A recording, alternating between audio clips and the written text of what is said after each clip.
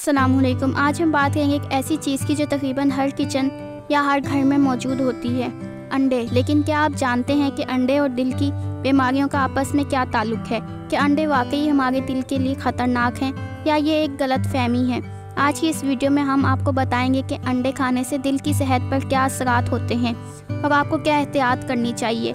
सबसे पहले बात करते हैं अंडों के फ़वाद की। अंडे, प्रोटीन विटामिन और मादनियात से भरपूर होते हैं।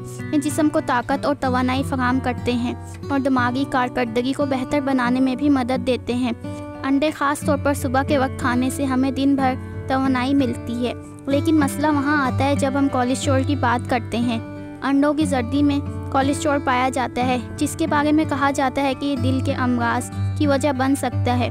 कुछ तहकीकात में बताया गया है कि ज़्यादा कोलेस्ट्रॉल खाने से खून की नालियों में चर्बी जमा हो सकती है, जो दिल के लिए नुकसानदार साबित हो सकती है। अब सवाल यह है कि क्या अंडे वाकई इतने ख़तरनाक हैं? जदीद तहकीकात के मुताबिक, अगर अंडे अतदाल में खाए जाएँ तो ये दिल की सेहत पर ज़्यादा मनफी असर नहीं डालते। बल्कि कुछ तहकीकात में ये भी साबित हुआ है कि अंडे का मुनासिब इस्तेमाल दिल की सेहत के लिए फ़ायदेमंद हो सकता है।